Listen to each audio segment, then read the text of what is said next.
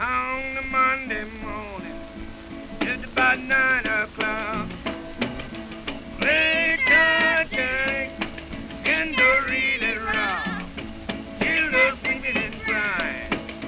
In. In developing my art practice, I, I chose alchemy as a real theme as a woman artist. It sounds sort of really weird because I wanted to sidestep this sort of male historical linear uh, view of art. And so I was very interested in the writings of people like Lucy Irigaray and her biological sort of language and um, and alchemical sort of language in her writings. And I became intensely interested in alchemy, which of course so many artists are because of its sort of transformative possibilities.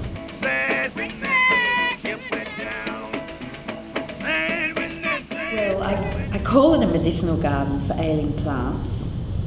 It's really, it's like um, a gathering of um, information, as it were, as, as much as possible research, but of course it's transformed in some way.